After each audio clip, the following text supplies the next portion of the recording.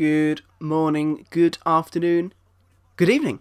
Welcome back to the Grimsby Town Road to Glory career mode with myself, Tibbin27. For today's episode, we have games away at Portsmouth, uh, away at Fratton Park to start. Then we go and play Bradford at home, another big game there, before going to MK Dons away. So, three tough games, I think, today. And um, yeah, we'll be finishing off October and then getting into November uh, when the cup will dominate with uh, with Rotherham and an FA Cup game here as well. So it's important that we finish this month strongly, and it's going to be a difficult first game for us midweek against Portsmouth under the lights. Uh, down the south coast, we have obviously got the second team going out there today. There's still some good players in there though. Thompson, uh, Maguire, Taylor, uh, all doing pretty well uh, so far. So hopefully the boys uh, can go and job, go and job, can go and get the job done uh, against Portsmouth. They're currently 14th, so a mid-table side, um, but you would expect them to to improve from there. Too many draws seems to be their problem.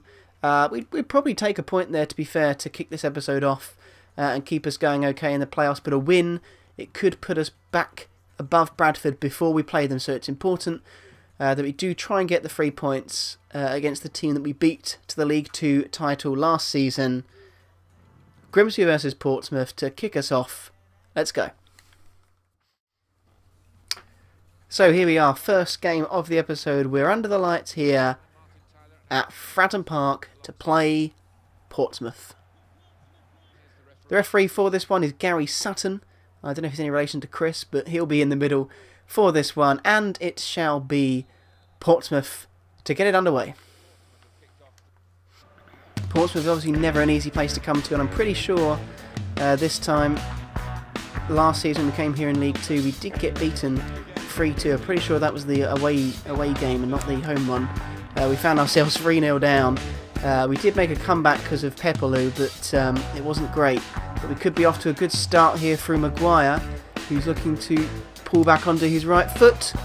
Shot blocked. Decent chance there for the former Cork City man.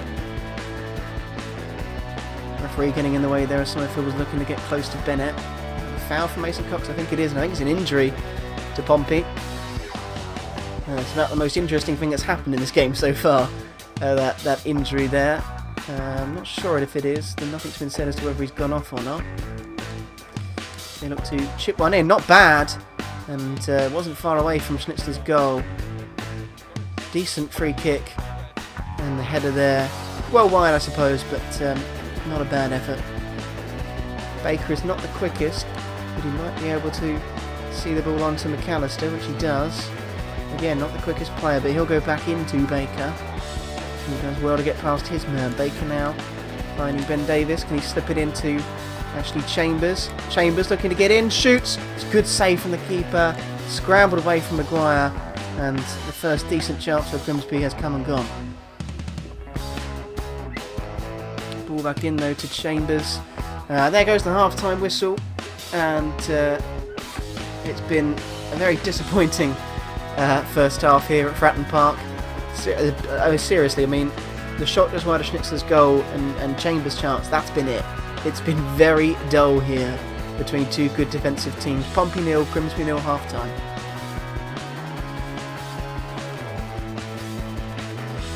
Oh, nice little bit of play from the Portsmouth boys and get through. And it's hit the post. Great chance of Pompey. They're still alive. Ben Davis cuts it out. What a chance, though. The best bit of play from either team so far this game. And they strike the post and probably deserve to goal then, to be honest.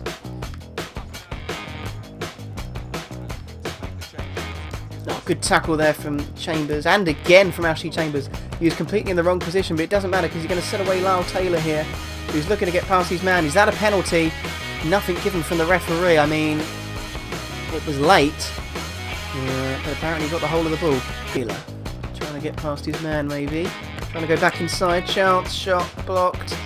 McAllister trying to wiggle clear. Taylor trying to get it back onto that favoured right foot. Taylor strikes it wide of the post one of the more decent chances in the second half of Grimsby that dragged well wide from Lyle Taylor in the end. Decent movement to get away, but wide the post. We gave away a penalty there with Barrett. On the edge of the box, can't let him turn. Over the bar. Decent chance there. Was that Vegetti? It was Vegetti. In a game of few opportunities, you've got to say should be hitting the target really, but wide of the post it goes in the pitch. Chance of Pompey down the wing here, they're trying to work it around. Summerfield tries to step in, his first mistake of the game. Shot, save from Schnitzler. And that I think, except the post, is the first save he's had to make. Doyle it is with the strike. It's straight at the keeper though, and it pretty much sums up this game.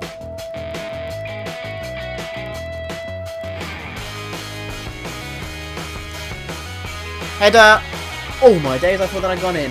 They very nearly snatched the winner here in the last minute. Did Portsmouth a corner after a Doyle shot and the header was not far away at all.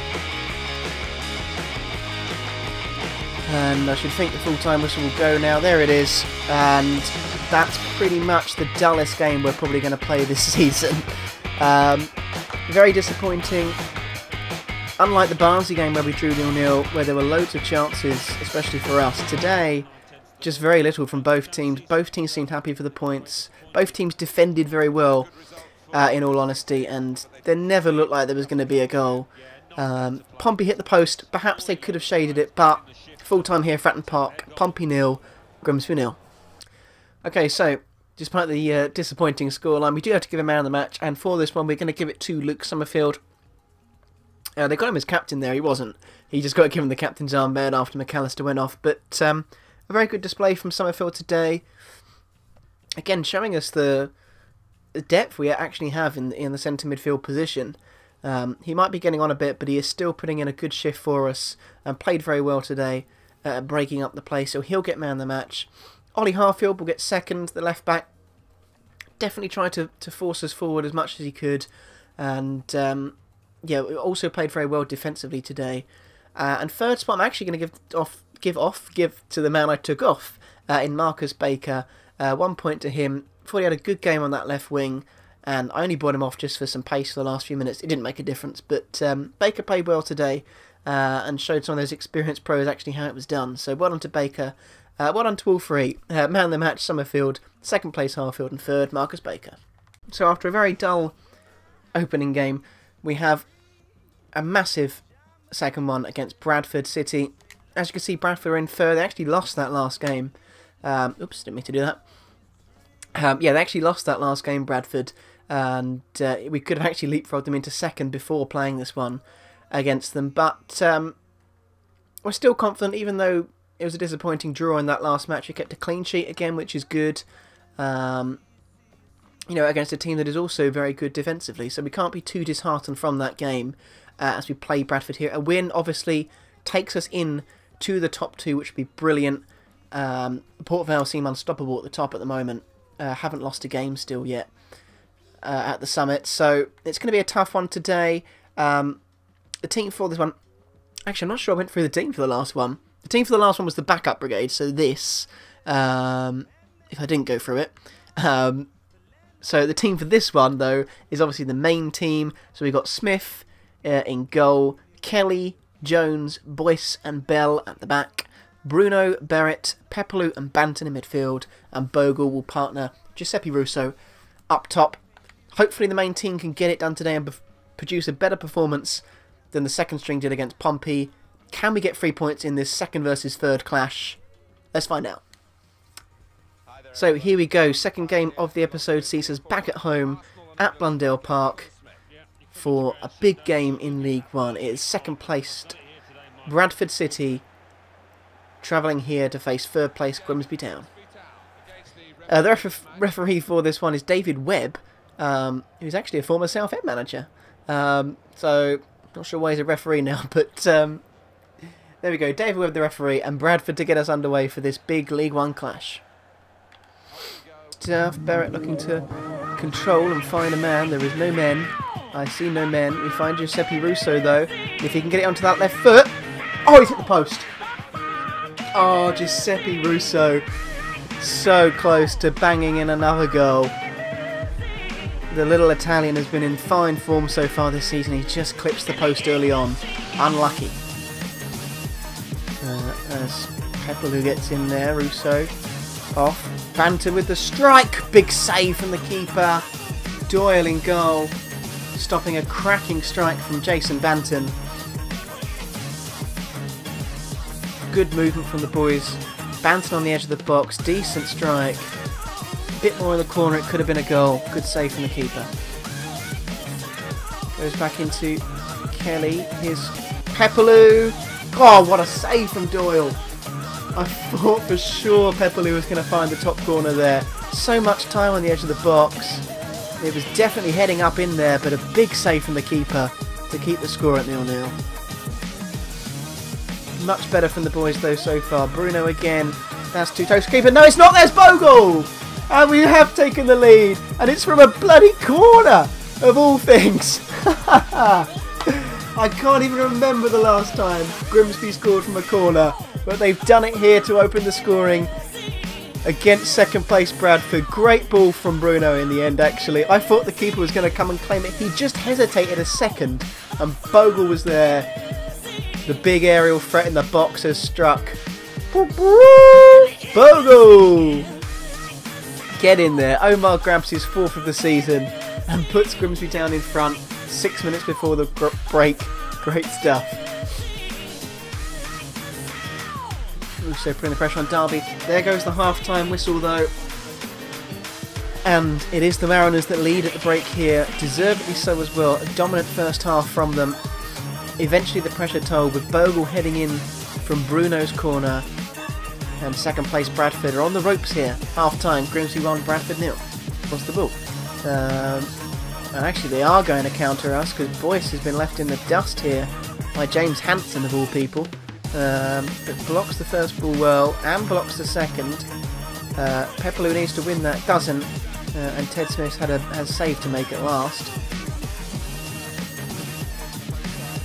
I know obviously they've like moved into attacking, but our players are physically taking such heavy touches or you know, just like not moving the ball as quickly as they were a minute ago. Chance here now with Stefano Bruno over the top. James Barrett, what is that control? Can he find the ball on? He can. Henry Kelly looking to get back on his left foot. Can't. And Bradford will come away again. Bradford coming forward here again. Decent ball. Nowhere near it. Hanson has missed it. That's a great opportunity for Bradford. One of the clearest they've created all afternoon. And James Hanson has fortunately missed it for us. Well wide of the target in the end. There goes the full-time whistle here. It, it does really doesn't feel like a win. It really doesn't feel like a win. Those last 15 minutes really annoyed me because we just, I don't know, our touches and everything, so it was heavy and slow and laboured from us and it felt like they wanted them to get an equaliser and that really annoyed me. We should have killed the game off a lot earlier but we didn't and we could have got done there. Hanson dragging his shot wide though. It is a win but it's only by a goal to nil. It's finished Grimsby Town 1, Bradford City nil. Okay, so man of the match for this one will go to Stefano Bruno.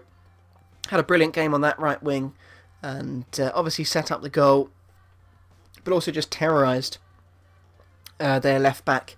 Uh, gave them a really hard game, played really well today. Uh, impressed by him again. Uh, second spot will go to Omar Bogle. Uh, again, good good game from him. Obviously got the goal, the winning goal in the end. Uh, and third spot will go to James Barrett, as usual, superb in that midfield role, controlled it ever so well. So top three today, Stefano Bruno, Omar Bogle, and James Barrett. Okay, so after that terrific win against Bradford, uh, we've now advanced through the week and obviously straight into our final game against MK Dons. Obviously that win lifted us up into second, and MK Dons have actually moved into fourth. Uh, they must have won their game as well. So they're absolutely flying at the moment, uh, are the Dons. So going to be a tough game today, away down in uh, in Milton Keynes. The team for this one will be exactly the same um, as the team that beat uh, Bradford in the last game. Uh, and obviously we're looking for a third clean sheet in a row as well, um, and a second in a row for Ted Smith. If he can keep no no no no not a second in a row. Yes, a second in a row for Ted Smith if he can keep it. Um, so we're off uh, for this game to play Milton Keynes a little, little bit of a derby, a little bit. I suppose we're quite a way away, probably about an hour and a half away, but a sort of derby. Um, for us to finish the episode Our Third game, away at fourth placed MK Dons. Can we grab another win and keep second place in League One? Let's find out. So here we are, third and final game of the episode, as I said, and it is at Stadium MK to face up against fourth placed MK Dons. So here we go, third game of the episode, MK Dons away. Can we get the win? Uh, show their partnership here, and Barrett might be able to find Bogle after just a few minutes. Can he get on that one? Good save. Can it drop to Russo? No, it can't. MK Don scramble clear. I mean, that came out of nothing. The ball from Barrett wasn't actually very good, but somehow made its way through to Bogle, who very nearly scored. Okay.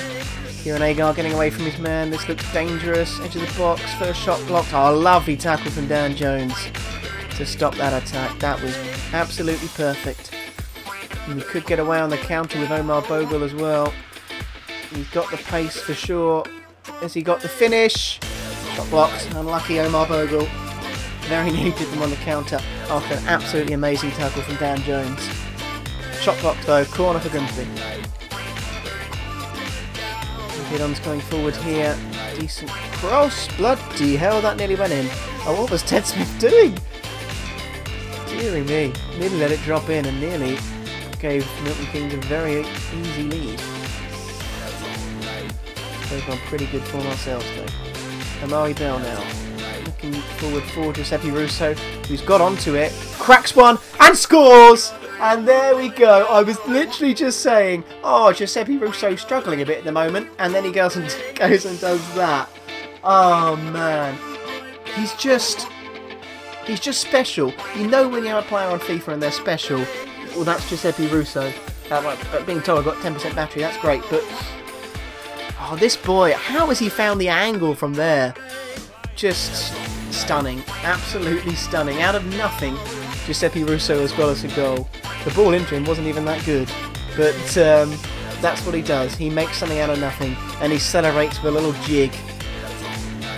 And it is, uh, it's only his second goal in League One, um, but obviously he's been scoring in the Cups as well. Well on Giuseppe Russo, MK Dons nil, Grimsby Town 1. Agard now looking against Team 4 just before half time. Won't be able to make it. James Barrett puts in a superb tackle. And Stefano Bruno can't get in the attack because the half time whistle has gone. Decent first half from the Grimsby boys. Definitely looked the better team overall. And that man again uh, has come to something out of nothing um, to make the half time score. MK Dons nil, Grimsby Town 1. Nice little turn inside and he'll find James Barrett. Nearly there was a ball on for a second for, for Russo, but then it went again. Barrett now. Bell. That's not a ball. Oh, Russo's got it. Russo. Oh, nearly again from a tight angle. What a sight. Again, that just came out of nothing. I didn't think the ball was going to make it. Then it did. And Russo very nearly squeezed it in again from a tight angle. 1-0 still, though, the scoreline. MK Dons coming forward here looking for an equaliser which they haven't really threatened, but there's a chance. And uh, the header is straight at Ted Smith. Kelly out jumped, but fortunately no direction on the header. But threatening on Henry Kelly's wing again. Good tackle again, Jones. Coming forward here, gets in behind. Massive save from Ted Smith at the back post there. I thought for a second I'd given away a penalty because there's a clip on afterwards here on Bodic. That is lucky to not get given as a penalty. Bell trying to block the ball, but well done Ted Smith. Called into action and saves well. Um, as Pepperloo finds Bogle. I was hoping Russo would make the run, but Bogle can run through. Shot saved. Good chance to absolutely seal it here in stoppage time, but uh, the keeper saves well to keep it at 1-0. Uh, Bogle will now go off for Sean Maguire, whose pace there probably actually would have been better. He probably could have got through and had an easier finish. Um, Stefano Bruno with the ball, way too close to the keeper. He'll collect, but there goes the full-time whistle. It's a very well-earned three points here for Grimsby Town. Uh, a tough game uh, against the Dons, who uh, are, are looking to get back up to the championship. But their good run comes to an end here, thanks to the brilliance of Giuseppe Russo. Tight game, not much in it, but in the end, a little bit of class from the 16 year old has made all the difference. Final score here at Stadium MK MK Dons nil, Grimsby Town 1. Okay, we have to award a man of the match after that one, and for it, it shall go to Giuseppe Russo. Absolutely superb today up front, uh, and deservedly got his goal um, to ensure the 1 0 victory. Second spot is a tough one, but I'm going to give it to Dan Jones. Agree with FIFA here. I thought he was superb at the back. So many good tackles uh, and stopping a, a really dangerous attack as well in that first half, I remember. So, second spot to him. And third spot, again, a really tough one today. But I'm going to give it to. I'm going to give third spot to the captain here, James Barrett. Again, he's just. Um, it's just another captain's performance, like very solid in midfield. Nothing outstanding today, not like the last game, I didn't think as much, but still good enough, I think, to get a point today. So Giuseppe Russo gets man of the match, second Dan Jones, and third James Barrett. So after that win against MK Dons, uh, we have remained in second spot, uh, moved on to 30 points, uh, still five points behind leaders Port Vale, uh, who are still unbeaten as well, having an absolutely terrific season up there.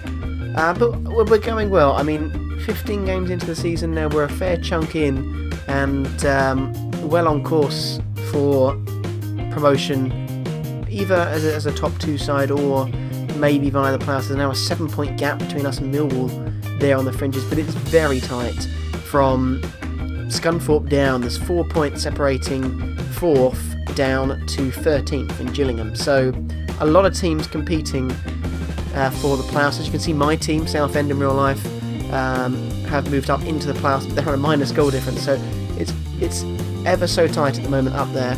But we're doing well. We're grinding out results, uh, and that one 0 win at MK Dons has certainly helped us. Just show you the bottom of the table, show how it's going down there. Plymouth Argyle yet to win a game opposite of Port Vale. And um, yeah, they look certain to go straight back down. Oldham, Bristol Rovers, and Exeter uh, also struggling. Chesterfield, Barnsley, and Pompey uh, not far away. So the, the, teams that came up with us, Plymouth, Exeter, and, Portsmouth, all struggling at the moment. Um, but yeah, that is going to be uh, be it for this episode. A good episode, two wins and a draw, three clean sheets as well on the trot. So we're really doing well um, defensively. As you can see, we've only conceded eight goals, best in the league by far. Uh, yet to go into double figures. So we'll try and keep that going in the next episode. Uh, got some fairly big games coming up, um, including another one in the Checkatrade Trophy. So we'll get into that in the next episode. I think we'll have another scouting report as well to go through. So we'll look forward uh, to that uh, and carrying on this road to glory with Grimsby Town. If you've enjoyed the episode, then please do leave a like on it. Uh, it's always good to see thumbs up on the videos. Uh, and subscribe as well if you're new to the series. Uh, if you are new, then go and check out um, what's happened before uh, in the series and check out the rest of my channel as well, uh, especially the Pro Club stuff as well that I've been getting up recently. Um, there'll be links in the description uh, to my Twitter at Tibbin27 and my Twitch, again, Tibbin27, so go and check them out as well. But that is it for this episode. Do join me again next time. But for now, it's Tibbin27. Out.